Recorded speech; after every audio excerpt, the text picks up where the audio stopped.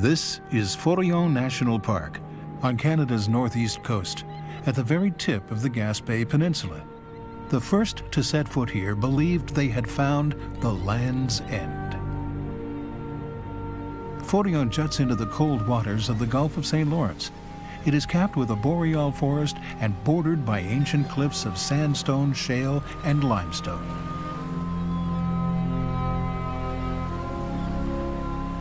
No people live here anymore, but this protected area of 240 square kilometers is home to about 100 black bear. These are mostly females, who would seem to have found on this remote peninsula a relatively safe place to raise their young. Becoming a mother for the first time is no easy feat for the black bear. The young females must overcome a world of challenges. This is the story of one such bear, of her drive to create life, and of the animals that share this strip of land with her, here, at the edge of the earth, at Land's End.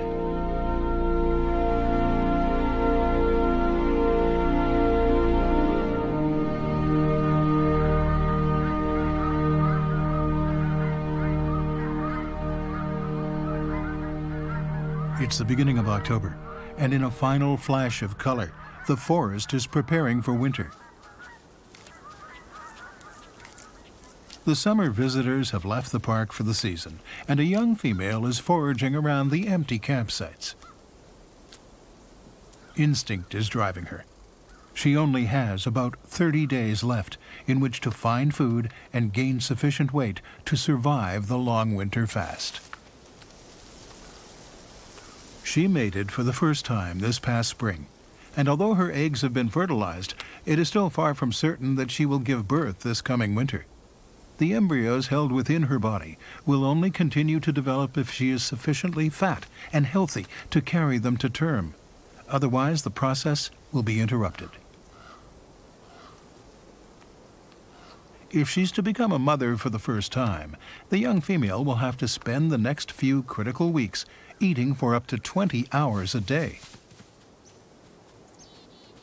She climbs into the trees and bushes to eat their fruit. This time of year, one particular shrub bears a major portion of her diet, the dogwood. Its small, white berries are plentiful this year, and the young female eats her fill.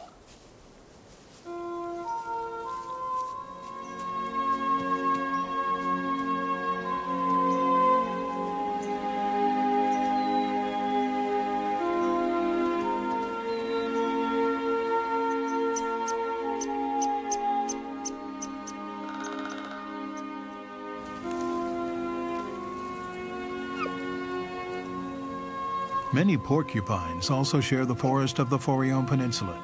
For them, fall is the season for courtship.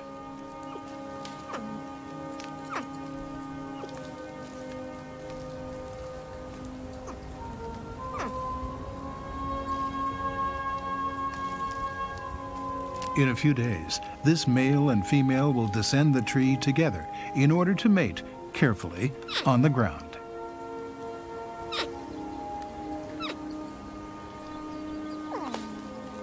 But for now, courting is reserved to moments between meals of spruce buds.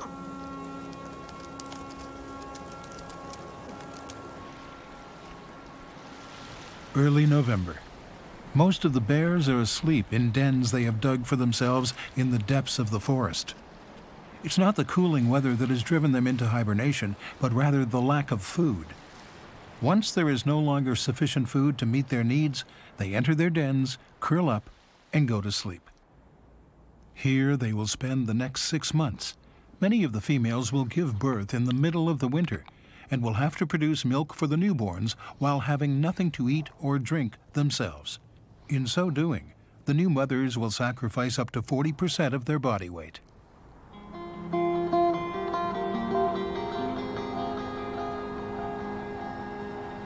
Making it through the bitter winter is a massive challenge to all the creatures of the forest. Like the bear, some will sleep the season away. Others survive on food they've cached and on what they can find in their frozen territory. most birds take flight for the south. Those that remain have to struggle daily to accumulate the energy needed for survival. For some, this comes in the form of winter buds, seeds, and frozen fruit, while for others it comes in the form of the flesh of their prey.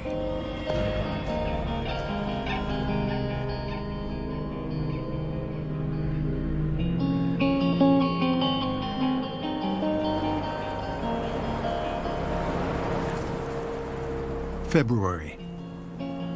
Deep in the snow-covered forest, in the safety of their dens, many of the bears have given birth. Was our young female among them? Was she able to grow fat and healthy enough to give life?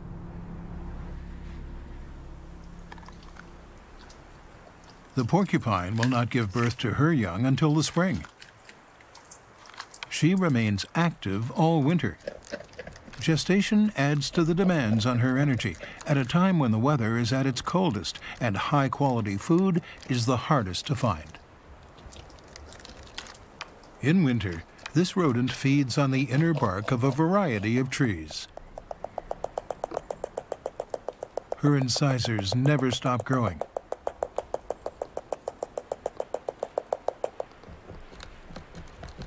Constant use keeps them impressively sharp and just the right length.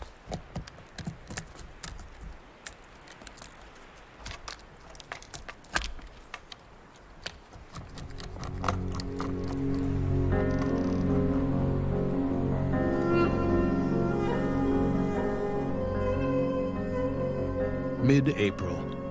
The snow that has piled up during the long winter is starting to melt, and the water within is released once more. Some will evaporate and some will soak into the earth. The rest will find its way to rivers and lakes and eventually to the sea. As it flows, the water absorbs and dilutes minerals and nutrients, making them available to living things. Everything is now ready for the forest's reawakening.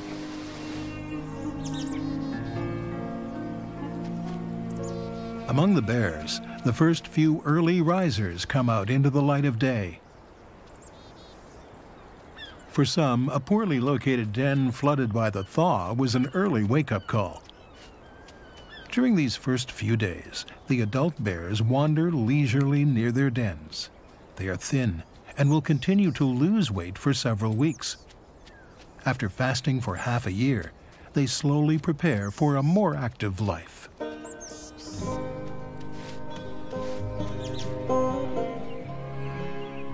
Early May, the young female is a mother for the first time. She gave birth to two cubs during the winter. They have only been venturing outside of the den for a couple of weeks, but are already skilled tree climbers. In fact, climbing is the first essential skill cubs learn in their new environment. At the slightest sign of danger, their mother sends them to take refuge, high in the treetops.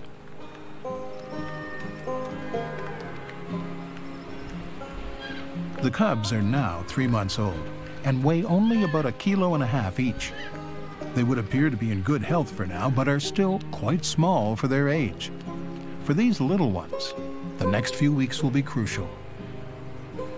The new mother must start eating again if she is to be able to produce good quality milk for her cubs. It will be weeks before there is any nutritious food to be found in the forest, as there is still much snow on the ground. So with her cubs trailing along behind her, she heads for a sunny hillside where the snow has melted. There, food should be easier to find. Along the way, they will have to cross a series of streams. To the cubs, they must look like torrential obstacles.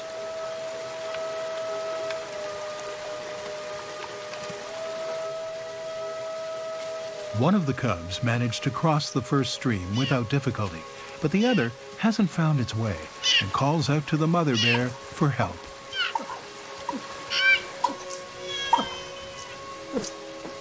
From the other side of the spring runoff, she encourages her cub to cross.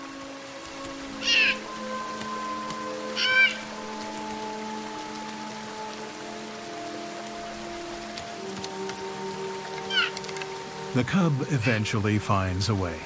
A thicket of branches serves as a crossing, Safe and dry, the little one rejoins the family. Black bears are mainly vegetarian. They will occasionally feed on carrion, and sometimes in the spring, they succeed in taking newborn deer or a moose calf, but 85% of their diet is from plants.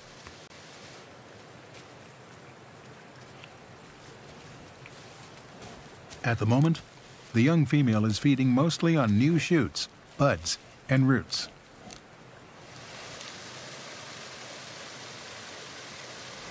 Here on the thin strip of land that is Forillon Park, vegetation first grows in open areas exposed to the rays of spring sun, mainly in fields, campgrounds, and picnic sites. The access roads to these zones are still closed, and there are not many visitors in the park. For the next few weeks, the little family has free rein in the prime sites.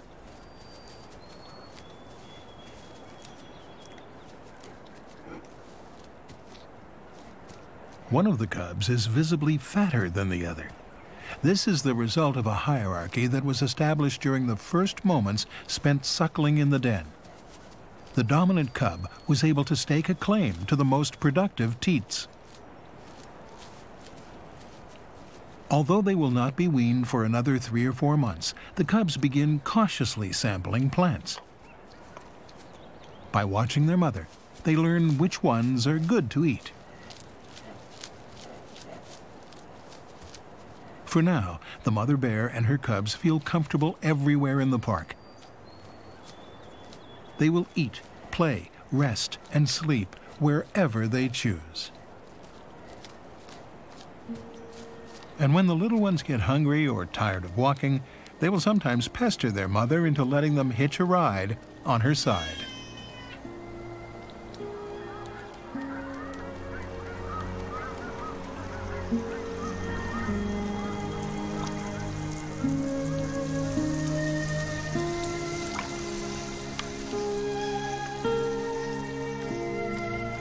Mid-May.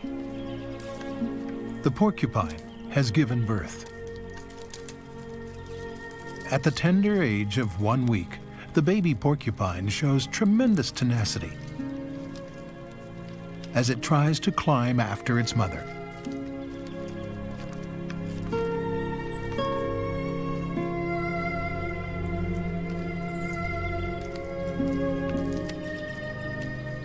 But today, it will have to wait until the mother comes back down. In another week or so, this tiny porcupet should be an expert tree climber.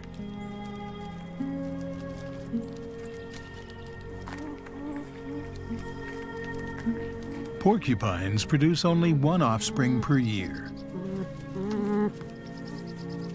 During the first few weeks of life, this little one is extremely vulnerable to predators as its quills are not yet sufficiently developed to serve as defense. At the age of just two months, the mother will leave the young porcupine to fend for itself.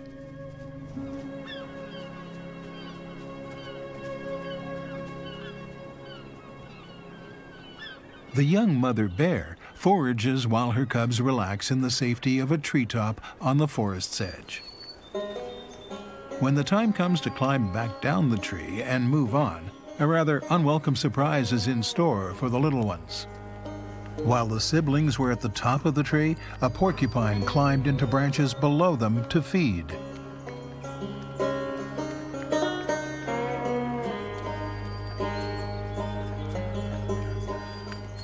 This may prove to be a dangerous turn of events for the cubs. The slightest touch with the prickly creature could provoke the porcupine to strike with its tail, possibly leaving dozens of quills painfully embedded in their flesh. Despite their lack of experience, the young bears know they need to keep their distance. With a little quick thinking, they find a detour and descend the tree safely.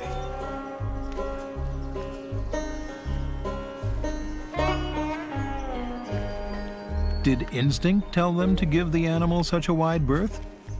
In Forillon National Park, bears come across porcupines every day.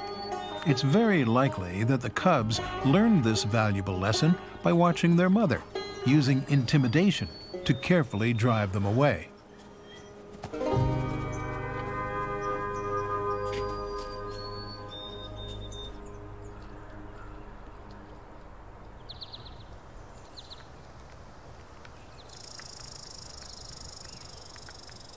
Today, the cubs are not getting as much to eat as they would like and their hunger has made them aggressive.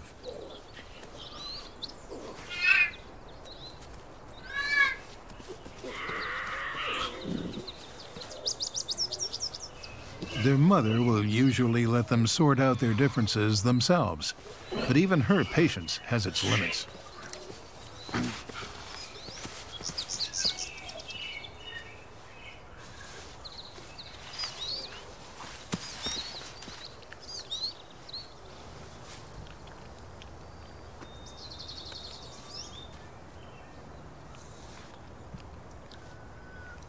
None of the mother bear's six nipples is producing milk.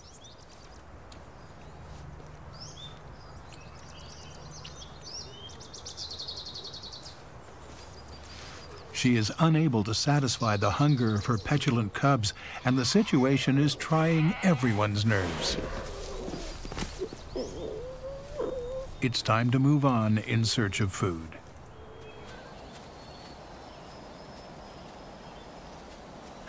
The black bear's most powerful sense is its sense of smell. As she moves along the path she uses in the forest, the young female leaves her scent on selected trees. This morning, the path happened to be a road, and the tree, a utility pole.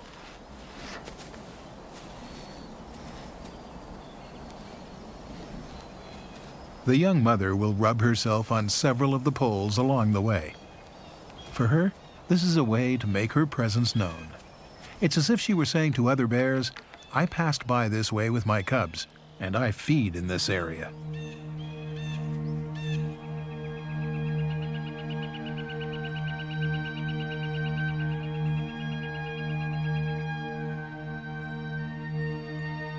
Late May. Food is now sufficiently rich and abundant for the mother to produce plenty of milk. Her cubs are content and drink their fill.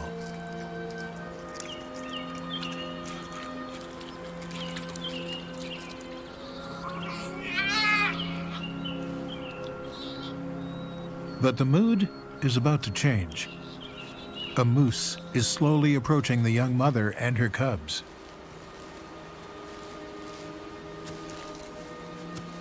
Focused on foraging, the powerful young moose probably has no idea that he has moved into the bear's area.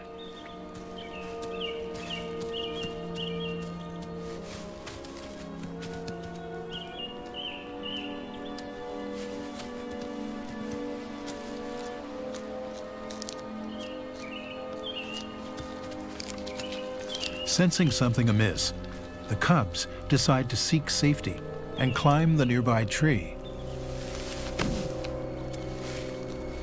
Alerted to the moose's approach, the mother bear defends the base of the tree and makes it clear that the intruder is unwelcome.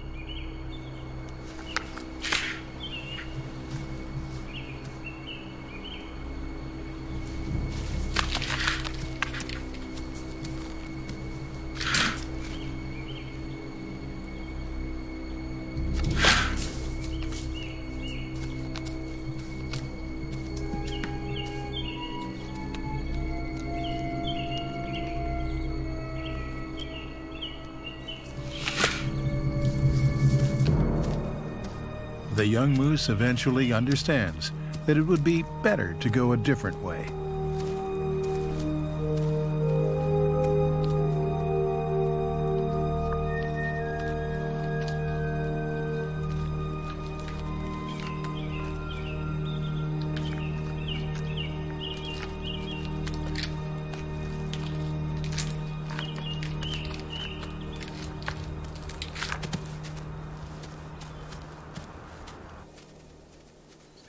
The young bear family forages over an area of around 10 square kilometers. Another female is roaming in the same area. She is the mother of three cubs. They are much bigger than the two cubs born to the young female, as they were born two winters ago, and are now 16 months old. These adolescent cubs have learned much from their mother. The days they will spend in her company are nearly at an end. This morning, the young mother has returned to forage at the same campsite she visited last fall. It would seem that her cubs are happy to be here. The first campers of the season will arrive in a few weeks. Until then, the young family will make regular visits. There is plenty of food, a source of water nearby, and dense, protective forest cover where the mother can safely sleep with her cubs.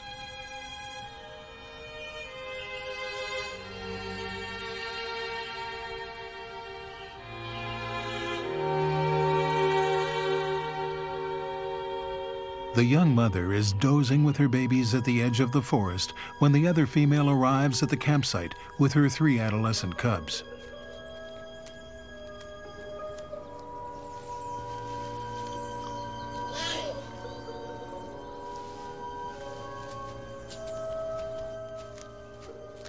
Adult male black bears will often attack and kill cubs, so mother bears are very wary when they sense the presence of other bears nearby.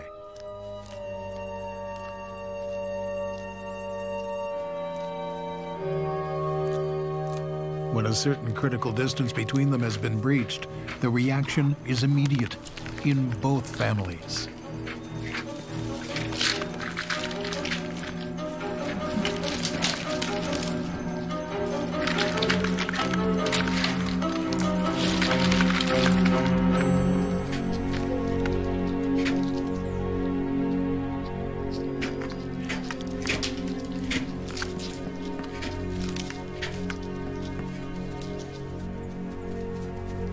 Good scare, the new arrivals decide to go feed a little further away.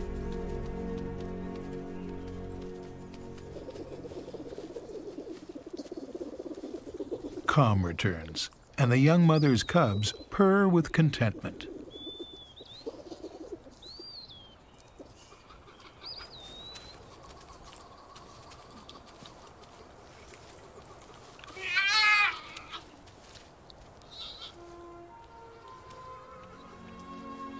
Bond between the mother and her cubs is the only strong relationship in the life of a black bear. Every moment of the 16 months that she will spend with her little ones is dedicated to their education and care. Even though these are her first cubs, the young female is an excellent mother. She protects and nourishes her little ones, raising them with strict authority but also showing enormous tenderness. She frequently takes time to play.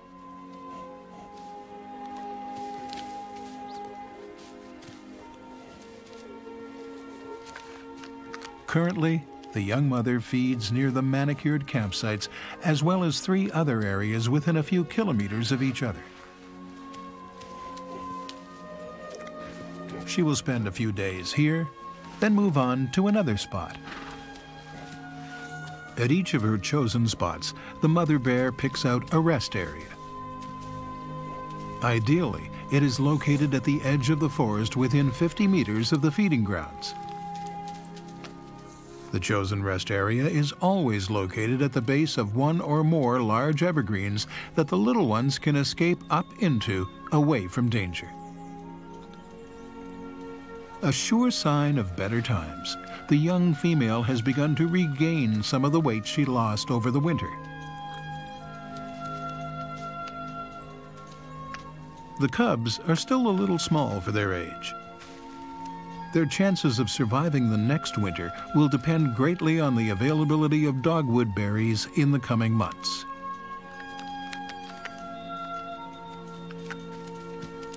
But for now, at least, life is good for the little family in their piece of forest by the sea.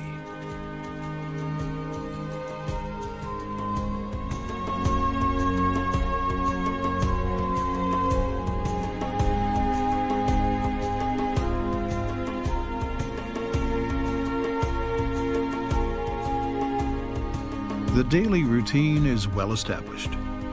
After feeding her cubs, the mother will sleep for a while. The cubs will often nap as well, snuggled against their mother's body. But at the moment, they're not sleepy. There are so many new things to discover, so many skills to practice.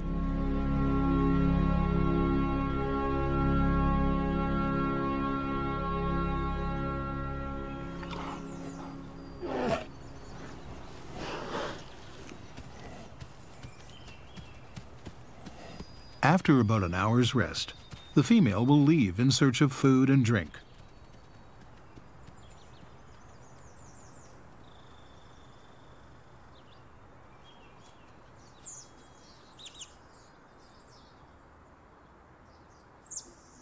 She won't go far.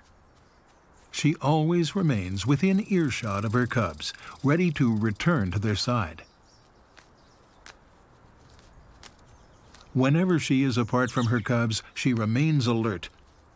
At the slightest suspicion of danger, she will race to their rescue.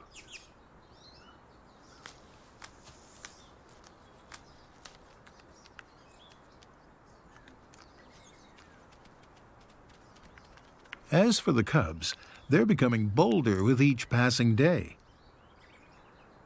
No longer happy to wait for their mother at the rest area, they begin to explore the nearby forest.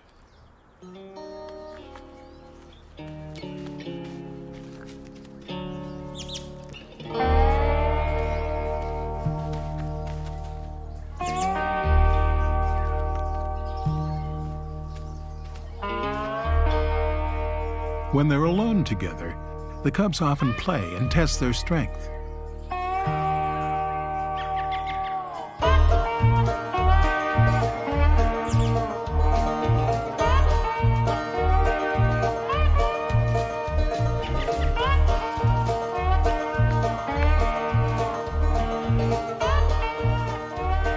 Much of the cubs' time apart from their mother is spent investigating nearby trees. Up in the branches, they're safe, free to play and explore.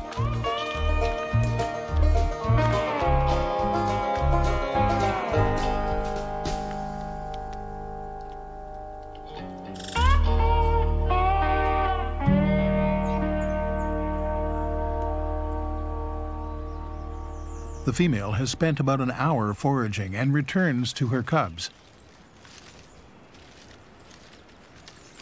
She calls for them. But the little ones are gone.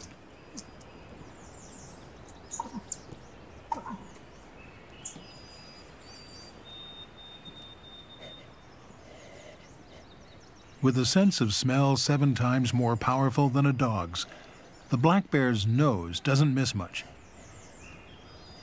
By sniffing around the rest area, the mother bear discovers what each of her cubs has been up to while she was away, and picks up on which way they went.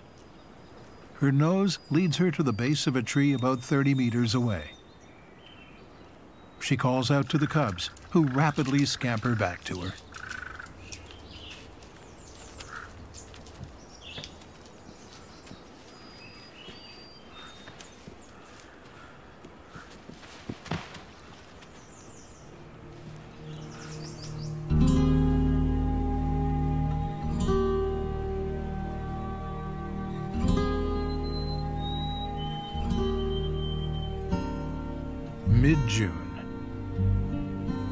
Young female and her cubs find the flowers of dandelions to be particularly tasty, and they spend the greater part of their day grazing on them.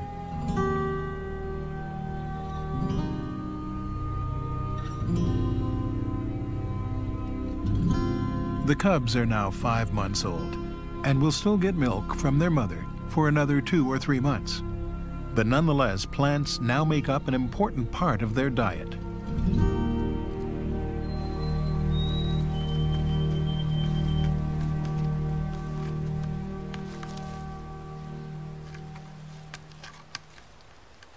The campsite and its selection of delectable dandelions has attracted another visitor today.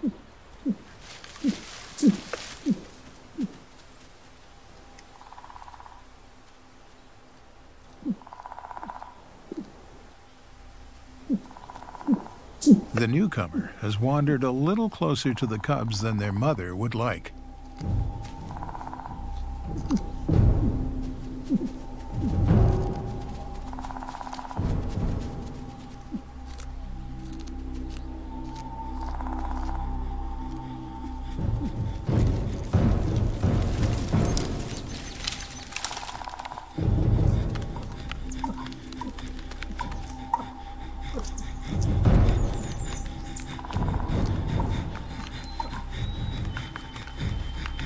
Once her little ones are safely up a tree, the young mother makes it very clear to the intruding bear that it is not welcome here.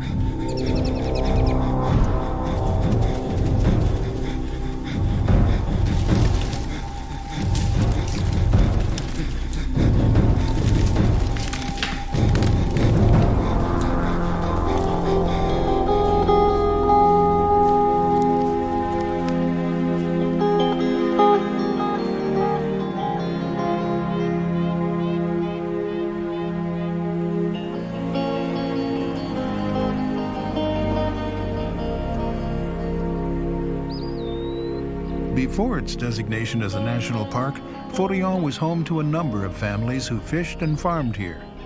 Some of their homes have been preserved, along with their fields and orchards.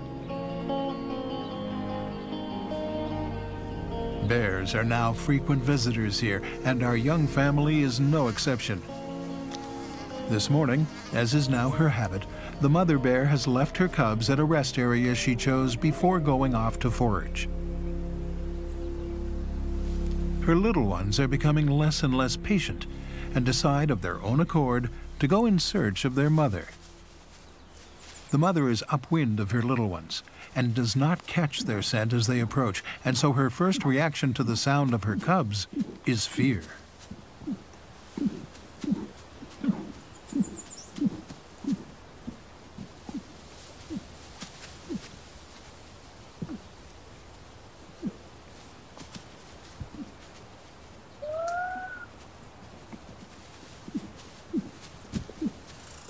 Finally, she recognizes their calls and greets them with a warm welcome.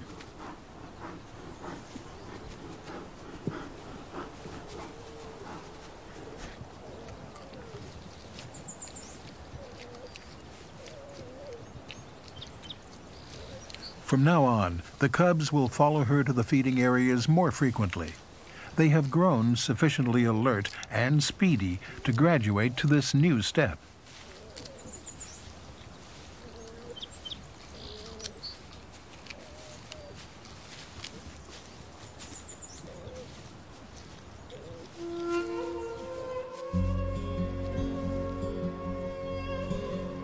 June. The lilacs are in bloom around the old farmhouses in the national park. Summer vacationers are still rare, but today the bear family is paying a visit. Thanks to their improved climbing abilities, the little ones are able to reach flowers at the very tips of branches.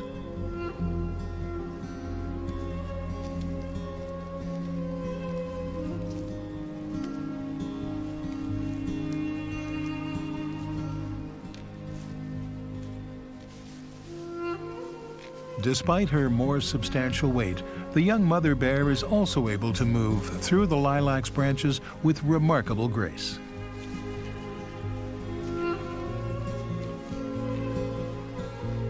True to their youth, the cubs are willing to try their luck and test the limits of what a lilac bough can support.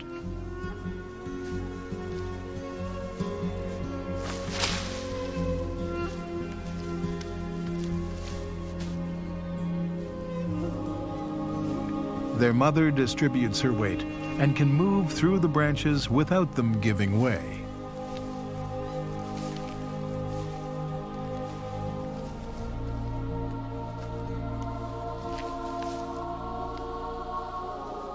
But the laws of physics can only be bent so far.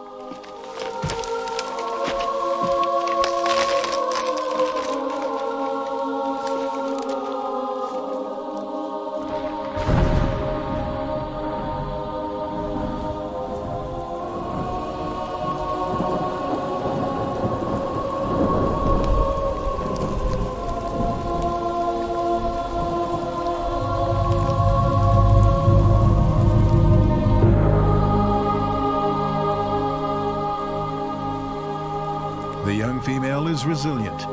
It will take more than a two-meter tumble out of a lilac bush to change her habits.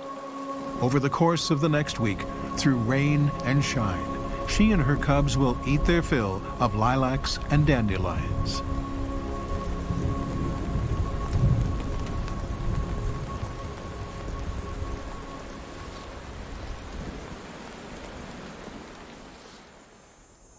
Early July, the bears now stay away from the campsites. The park is filled with summer visitors, and the bears must quickly adapt to the human presence. Most bears move farther into the forest. There's plenty to eat there now, and they will be left alone. Others have moved to areas that are slightly more challenging to access. This juvenile male has ventured out onto some of the steepest cliffs on the peninsula to graze on a few wilted dandelions.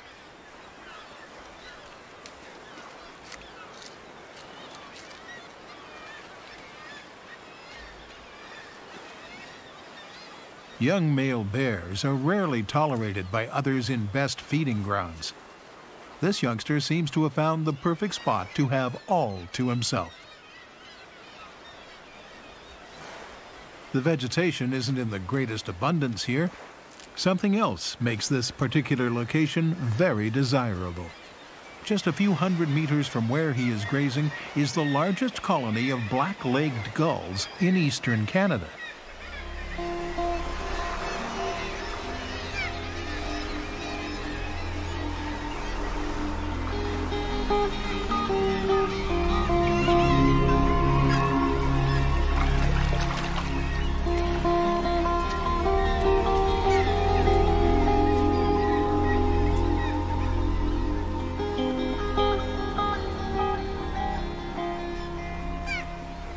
Many gull hatchlings accidentally fall from their nests and die on the beach at the base of the cliff.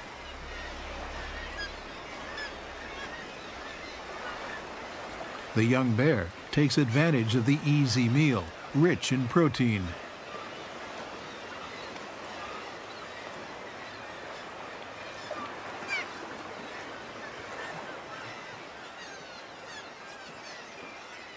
While there isn't much shade in which to escape the summer heat, the cool waters of the Gulf of St. Lawrence make for a refreshing break.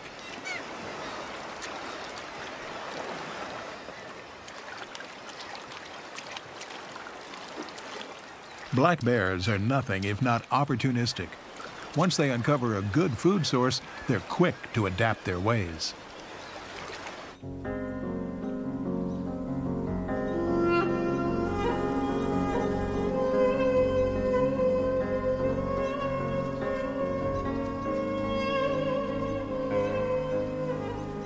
Since the summertime arrival of human visitors in the park, the mother bear and her cubs have withdrawn. They progressively abandoned roadsides, fields, and campgrounds in favor of the forest. New shoots are growing here too, even in the most shaded areas.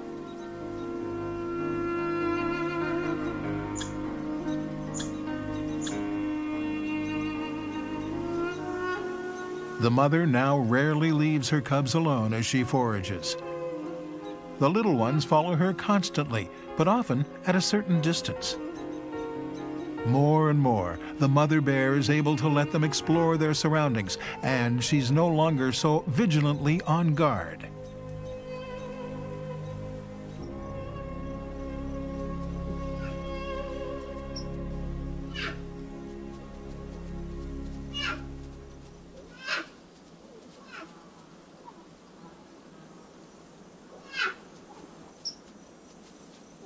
Even when her cub loses sight of her and begins calling out, the mother bear doesn't react. She's able to tell by the tone of the calls that there is no immediate danger and leaves the young cub to use its sense of smell to find her again.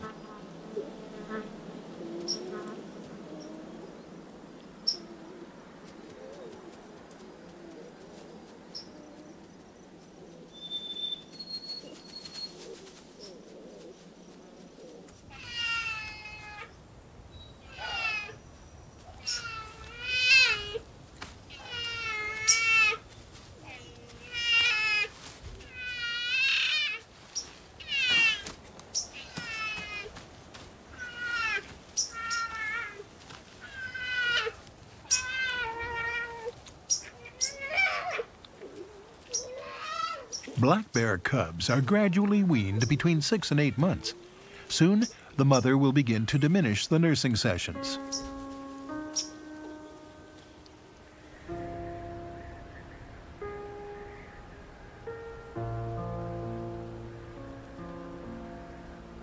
Every day, the cubs learn more about survival in the forest that surrounds them. Today's lesson, given by the mother bear, is about another source of food.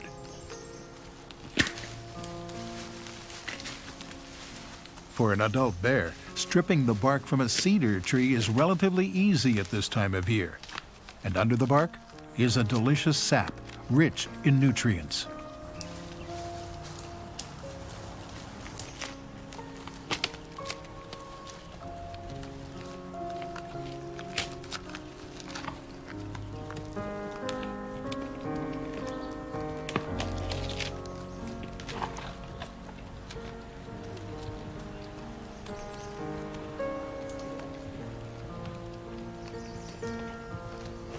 After she has had a taste. The mother makes room for the little ones, who are quick to imitate her.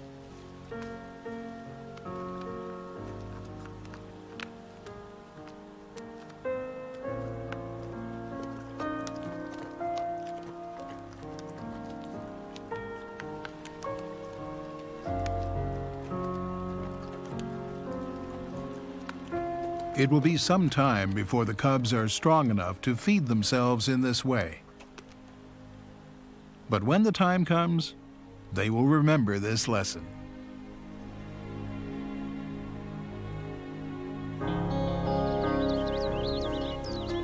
Early August.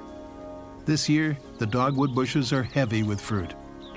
Perfect conditions for the young mother and her cubs. In about three months, the black bear of Forillon will return to their dens. Already it's time to start preparing for winter. They will once again have to store an immense amount of energy in the form of body fat.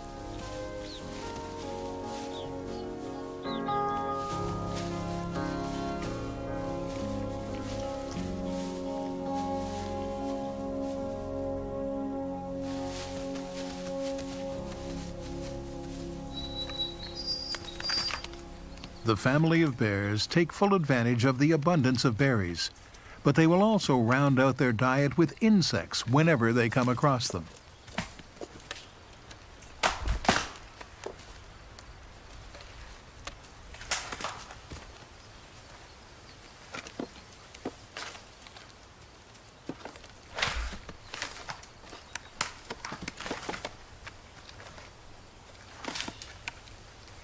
Finding a nest of ants inside rotting wood takes a fair bit of know-how and work, a task beyond the abilities of the cubs. The mother is a practiced expert, and the little ones learn yet another lesson. But they seem to have their own flair for rooting out tasty insects. The young female has successfully seen her cubs through the most vulnerable period of their lives. With the abundance of berries available in their territory, all should be able to gain enough weight from now until the end of the season of plenty to survive their first winter fast. The cubs will hibernate together in a den with their mother. In the spring, when they are 16 months old, the mother bear will push them away, and they will have to strike out on their own.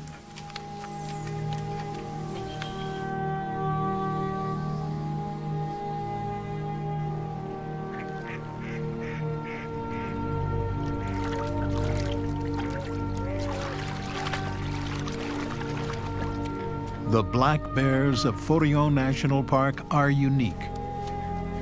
Their behaviors, their habits, the way they raise their young have all been continually shaped by the land and the life here.